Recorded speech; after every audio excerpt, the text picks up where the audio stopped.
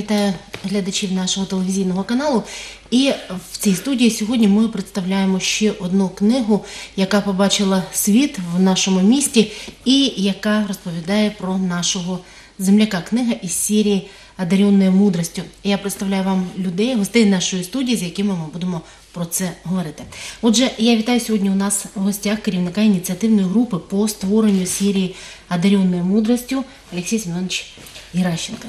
Доброго дня, я вас вітаю. Здравствуйте. В нашій студії голова громадської організації «Інтелект» Роман Сергійович Пашнів. Доброго дня. І Ілля Моїсійович Старіков, інтелектуальний лідер видання, почесний професор Національної академії педагогічних наук України, професор Національного університету імені Сухомлинського, член спілки журналістів. Доброго дня. Отже, е, ми з вами тут зібралися, аби представити наступну книгу із серії «Одаренною мудростю. Ми вже говорили про перші, але так вийшло, що коли ви працювали над першою книгою, а це було понад три роки тому, розпочиналася ця робота, то тоді не йшлося про серію, наскільки я пам'ятаю. Е, Була мета зробити книгу. І народилася перша, а за нею ви відчули смак до цієї справи. Ну, і важливість, і важливість того, щоб зберегти те, про що в книгах цих йдеться. Олексій Семенович, я звертаюся найперше до вас, так як ви керівник ініціативної групи. Ви і тоді стали таким неформальним лідером е, цієї групи людей, які працювали над е, книгою. І сьогодні ви продовжуєте цю роботу. Я думаю, варто представити всю серію і нагадати її історію. Ну, я должен сказать, что вообще случайностей в жизни не бывает. Но вот такой фактор. Э, В 2012 году э, сын мне подарил две вещи. Это документальный фильм о человеке, с которым э, мне пришлось работать, и о котором не только у меня, а очень у многих людей сохранилась добрая память.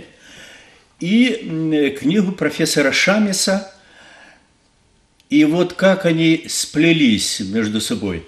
Мы посмотрели фильм, нас собралось 17 человек. И все вот э, выступали, вспоминали об этом человеке добрым словом. Я же перед этим прочел э, книгу профессора Шамиса, а там у него было написано, э, шла- э, написано такая, такие строчки. Цей син скіфського царя, піддані якого експортували вирощений в степах теперішнього українського причорномор'я хліб у Грецію, прийшов до салона, бажаючи стати його другом. Речь шла об Анахарсисе. Человеке, о котором вспоминает и Геродот в своих историях, и очень многие э, лица вспоминают, к сожалению, очень мало э, в Николаеве, я потом скажу, Э, выходец Сольвии, сын гречанки и скифа царя, э, в молодости был отправлен в Грецию, дабы приобрести опыт и знания. Э, Там он познакомился и стал знаменит, э, был включен в число восьми мудрецов мира. Вот. О нем вспоминают, э, я уже сказал, и Геродот, который, кстати, был в Ольвии в свое время. Э, О нем, э, его, вернее, так не вспомним, а будем так, ск- скажем так. Жан-Жак Бертоломе написал книгу э, Анахарсисе, а царь Александр I платил 6 тысяч рублей за перевод этой книги на русский язык. Сумасшедшие Об деньги по тем временам. Сумасшедшие книги по тем временам. Э, И э, о чем это говорит? Э, Это говорит о том, что царь хотел э, обнародовать, что вы- выходец из той территории, которая была подвластна царю, оказывается вот такой э, знаковая, такая знаковая личность. Одаренный мудростью. От- Попавший- одаренная мудростью, да, вот как она. в число восьми мудрецов. Число восьми мудрецов. Я вам скажу больше. Вот э, э, выдающийся украинский ученый Белецкий, когда переводил э, книги Геродота, э, мыслил назвать Анахарсиса на украинский манер Анахарсить. Анахарсить. Но так вот э, с ним работала Русяева, об этом она пишет в своей книге, э, которая пишет книгу об Анахарсисе и об этом вспоминает. И, ну что, надо сказать, что вот художник Зубов сделал роспись у входа в московский Ново, э, Новоспасский монастырь, и где выстроены философы прошлого, ну, древности, и каким? Восьмим, по-моему, Значит так, Платон, Аристотель, Плутарх, Салон, Птоломей, Анахарсис, Орфей и Гомер. И там он, сейчас мы можем там это увидеть. Э, об Анахарсисе пишут многие в Греции, в Франции, Германии, России. Вспоминают и у нас, вот э, в частности, Золотухин, кстати, вот немного вспомнили у нас в Николаеве. Э, Золотухин в своей книге «Три зошиты», Золотухин экземплей Бойченко в книге «Три зошиты», Стариков Илья Моисеевич написал эссе об Анахарсисе, вспоминает его и Кремень в своих стихотворениях. Пучков, главный редактор «Вечерняя Николаева», который учредил конкурс, учредил чтение, стихотворное чтение Ватерлиния, поэтический конкурс Ватерлиния, в рамках которого проходят поэтические чтения, чтения. имени Анахарсиса, да, и проходят вот. на древней альвийской земле в творческом объединении Дом Бахтовых и, собственно, на территории Дома Бахтовых. Да, вот как это получилось, после э, чтения на другой день, когда чтения были в Николаеве, а на другой день собрались у Бахтова, и Бахтов говорит, что он работает над тем, чтобы его переулок Рыбачий в Вольве переименовать переулок Геродота. Ну, я говорю, а улица, а почему не Ванахарсис? Улица, Алексей Иванович, улица. Вот был просто переулок Рыбачий. Да, а теперь улица, улица, улица Геродота. Геродота да. Я говорю, а почему не в э, Анахарсиса? И вот там возник очень интересный разговор. Присутствовал там и э, э, главный редактор «Вечерняя» Николаева, После этого вот следующая ватерлиния уже на второй день э, учрежден был э, конкурс э, имени Анахарсиса, и там выступали те же самые лица, но уже на приз конкурса Анахарсиса.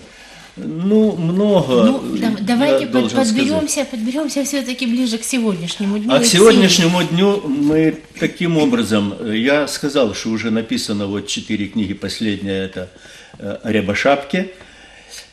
Очень многие люди сожалеют о том, что не приняли участие, в частности, о Рябошапке. Я вот встречался, и наша писательница русских, Алена, вот буквально Э, воскресенья на художественной выставке.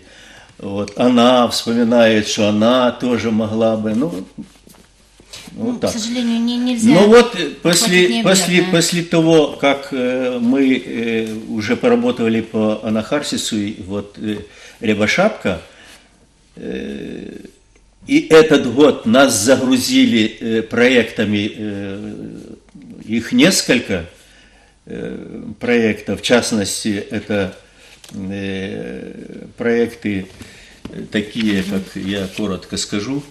Это ведущий э, Стариков, это проект трех человек, это Шкаруба, Ковалевский и Адрабинский, Илья Моисеевич подробнее скажет. Второй проект – это Юрий Белый, тоже Стариков ведет – вот. Это инициативная группа. Угу. Третий проект – это о Владимире Зебике э, ведет э, Валерий Шепель. Проект Аждахе Галина Крикун. И э, последний проект, это вот недавно только Серафиме Сенкевич, художники, будет вести «Кремень». Есть еще два или три желающих э, вот, э, людей, о которых надо было бы Надо было говорить. бы Да. говорить, да. Но Я думаю, что можем действительно подойти поближе к книге, которая вот действительно только недавно увидела свет в издательстве Павла Шамрая. Вышла она, э, следующая книга из серии «Одаренная мудростью», она посвящена Николаю Рябошапке. И я думаю, что те наши зрители, которые смотрят программы о николаевских книгах, они должны знать о том, кто такой Николай Рябошапка.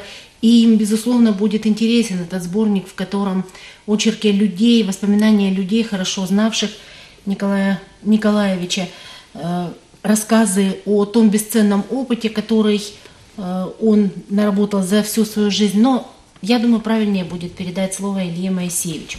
Илья Моисеевич и составитель этой книги, интеллектуальный лидер издания Илья Моисеевич. Спасибо. Ну, Да. я один из лидеров, потому что нас двое. Еще, значит, э, лидер у нас еще есть Вячеслав значит. Вячеслав работал- Алексеевич Геращенко, руководитель Да. э, программы Киево-Могилянской э, бизнес-школы. Ну, я работал вот со всеми четырьмя э, книжками, которые вышли э, в это. А я, это последняя книжка о Рябошапке. Ну, я с особым трепетом работал. И почему, ну, значит, потому что я видел результаты труда этого человека. Мы побывали в Щербанях, м, беседовали с теми людьми, которые работали, э, с дочкой, с внуками. И я хочу поделиться своими впечатлениями не только об этой книжке, а вообще о проблематике исторической, которой мы увлеклись. Потому что я вот столкнулся с таким фактом. В одной из библиотек читательница узнала об этой книжке и попросила у библиотекарши, можно ли э, взять эту книжку. И она вдруг ответила так, говорит, а вы знаете, что было постановление о декоммунизации, значит, и нам не очень рекомендуют книжки, а он герой социалистического труда. И меня это задело. Почему? Потому что я знаю, сколько он вложил своего труда. И он не один. Я вспоминаю, вот, допустим, у нас в Николаеве фамилии, которые знают. Иван Винник, строитель кораблей, авианесущих. Петр Третьяков, бригадир судосборщиков, герой социалистического труда. Э, Гурмаза, электросварщица, герой социалистического труда. Владимир Аполлинский, лауреат Ленинской премии, заслуженный рационализатор Украины, бригадир судосборщиков. Эти фамилии можно продолжать. Я их назвал только эти фамилии, потому что я с этими людьми сталкивался лично, работ, по работе сталкивался. Совсем недавно ушел из жизни Владимир Григорьевич Погорелов. Да, совершенно верно. труда. Кстати, Так- о нем мы вспоминаем так- первой так- книге. Такого же плана, понимаете? И это люди, которые заслужили славу свою не политическими э, речами, выступлениями, а как званиями, говорили а на заводе, своим горбом. Да. Значит, не, не такое. званиями. Да, не званиями. Работой. И нельзя... Звания вот это- потом пришли. Звание потом, да, да. И об этом надо нам помнить все время. Почему я считаю? Потому что как социальный психолог я знаю одно, что надо знать историю своей страны, историю своего народа, потому что эти знания являются фундаментом патриотизма. Если мы хотим воспитывать патри- патриотов, надо знать историю, любить ее, изучать. Иначе мы просто будем воспитывать манкуртов, людей, которые не помнят ничего, не знают. В этом, на мой взгляд, и значение этой серии. И вот говорил, значит, Алексей Семенович как раз об анахарсисе. Вот интересно, такая деталь, связанная с этим героем. когда он уже возвращался из э, Греции в Ольбию, а его брат не разделял убеждений Нахарсиса. Он считал, что надо придерживаться скифских порядков, скифских обычаев. И кончилось тем, что на подступах к Ольвии Анахарсиса убили люди его же брата. То есть вот это вот вопрос, куда идти нашему краю, нашей стране, это возник не сегодня. Оказывается, еще до нашей эры все думали, как же правильно выбирать путь. Я думаю, что серия вот эта вот одаренной мудрости и должна помочь людям разобраться в своей истории и сделать правильные выводы. Ну, в любом случае, все герои этой серии, люди, которые оказывались в центре уваги, в центре внимания большого количества людей, в любом случае это люди, которые за свою жизнь наработали очень большой серьезный опыт. И знаете, вот э, я припоминаю, что буквально в моем детстве, э, конечно, смотрели, не, не, не такой большой был выбор, выбор телевизионных каналов, ну, было их там две или три кнопки, которые работали. Я помню новости центральные, о которых рассказывалось о селе Щербани. Туда стремились люди со всего Союза тогда, да. тогда, со всего Союза. Потому что село было таким, что там хотели жить. И даже в то время плановой экономики, предсказуемого завтрашнего дня, далеко не все села были такими. Так Можно он взял честно сказать. село. Не, не то, что далеко не все, а таких они были единицы просто, чтобы действительно был э, человек, хозяин такого уровня. И сегодня к сожалению, жизнь нам дает, мне кажется, чуть меньше таких примеров. Так, Мы как, как-то что-то перестроилось. Инга, вот как раз хорошо, смотрите, можно сопоставить. Он пришел, Николай Николаевич, в это село, не было, значит, долго несколько тысяч у колхоза было. Не было ни дорог, ничего. Он проложил дороги, заасфальтировал улицы, построил, построил великолепный, дома. значит, дворец культуры и другие, значит, там стали проводить международные и ну, всесоюзные соревнования по гребле, там в море, значит, было создано. Он строил не для себя, он строил для людей. Вот чем интересный феномен этого человека – вы знаете, мне пришлось э, встретиться с э, э, женщиной, молодая красивая женщина Лариса Потемкина. И когда она спросила, ну, чем вы занимаетесь, она йогу преподает. Я говорю, да, вот так, вот книги, вот последнюю книгу вот пишем э, э, Рябошапке. Она буквально полминуты смотрела вот так, расширив. Рябошапка? Да я же там девчонкой, соревновались на каное, я же, как он нас встречал. И потом она таки написала свою статью, очень хорошую статью э, в эту книгу, воспоминания э, о том времени, когда э, Рябошапка был жив, вспоминал, принимал их, и как принимал, и неоднократно, и кормил, и арбузами, и так далее, и внимание очень большое. Так что... Вот, очень известная фотография, я знаю, что часто достаточно, да, она, да когда говорят о, о Николае Николаевиче, то ну, можно встретить эту фотографию. Нужно сказать, что вот этот проект «Одаренная мудростью», он собрал вокруг себя уже достаточно большое количество людей, и mm. вот назвали несколько еще проектов. Более 200 человек. Сегодня, да, и несколько участвуют. участвуют. А, По 55-60 человек в книге. А сочувствующие и желающих, и, и, да. и, к сожалению, ну, ну так. Ну, я уже сказала, объять, необъятное невозможно, но факт то, что я же говорю, вот э, идея о написании создании первой книги, она сегодня уже переросла просто мысль о книге или даже о серии книг.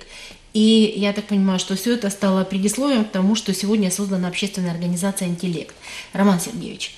Давайте да. я два слова скажу. Да. Э, наша группа, в общем-то, э, она на общественных началах. Вот. А э, работа очень большая, общение с потенциальными написантами. И в этом году, когда возникло их несколько, вот тогда стал вопрос, что-то надо делать. И мы приняли решение – создать общественную организацию, назвали ее «Интеллект», создали, утвердили, и э, Романа э, руководителем, директором этой организации. Он уже перед этим кое-что он уже делал. Самого Он, молодого. самый Роман Сергеевич, и да. как вам с одаренными мудростью? Э, ну, вы знаете, очень хорошо. Это для меня ну, огромный опыт, огромное э, наслаждение работать э, с людьми настолько творческими, настолько инициативными, настолько активными.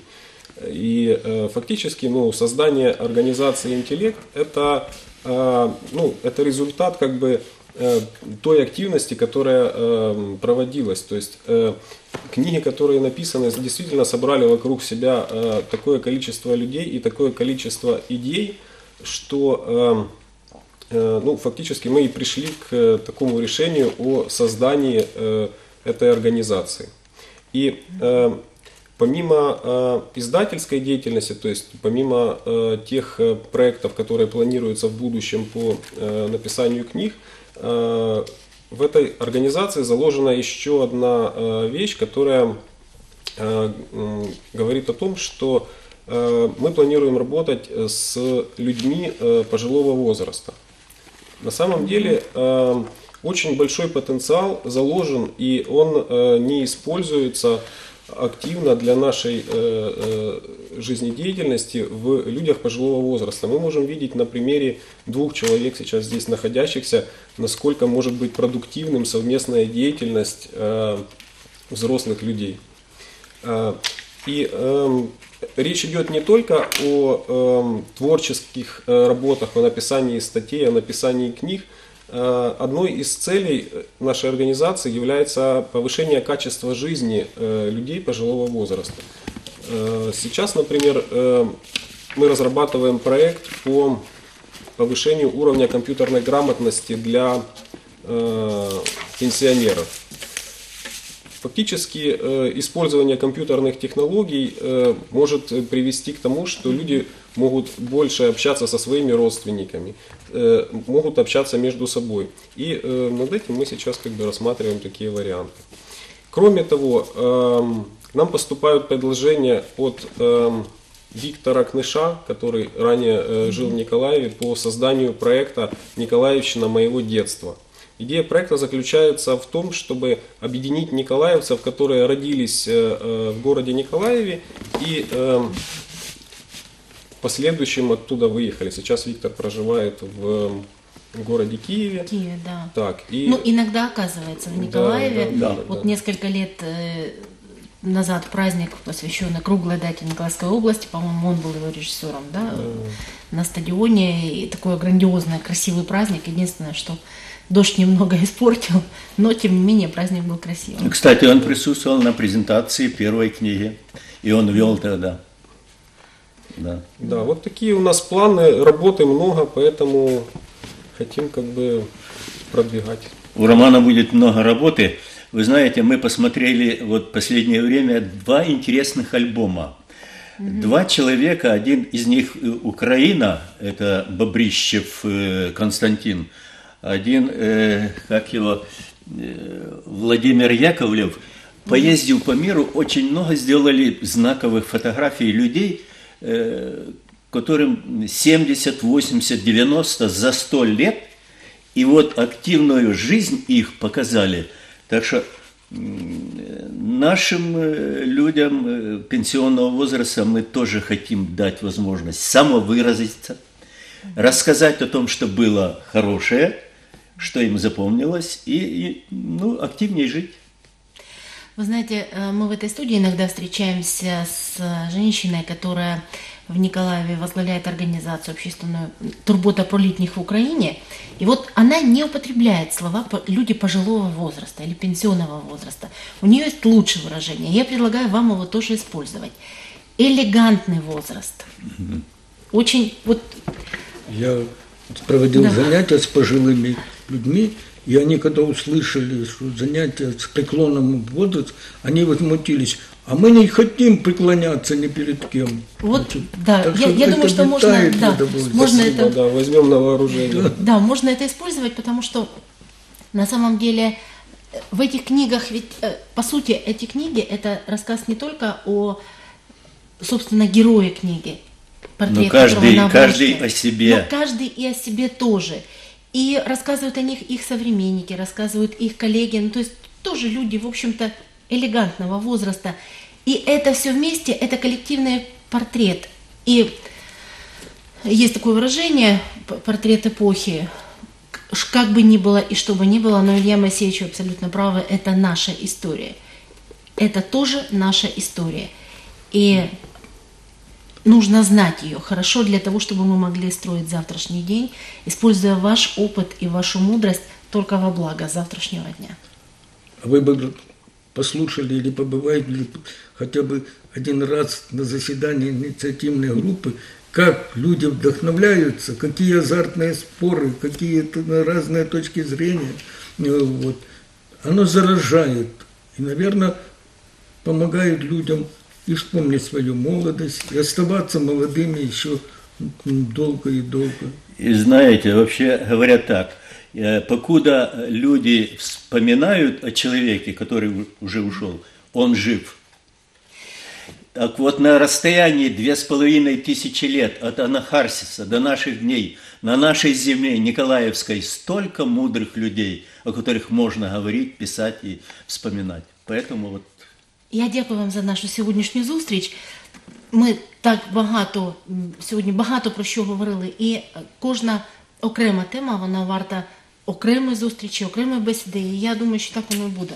Ми, ви будете продовжувати серію, ми будемо продовжувати про це розповідати разом з, з громадською організацією інтелект і ділитися ваш, вашими роботами, вашою мудрістю і вашим азартом. І зустрічатись на вашому так, каналі. і зустрічатися на нашому Спасибо. каналі, аби світилися у вас так очі, як Дякую вам. сьогодні. спасибо. Дякую. Дякую і вам, що були разом з нами. Звертайтеся до нашого досвіду і нашої історії. Абсолютно точно вони допоможуть нам з вами у завтрашньому дні. Хай щастить в ефірі. Побачимось.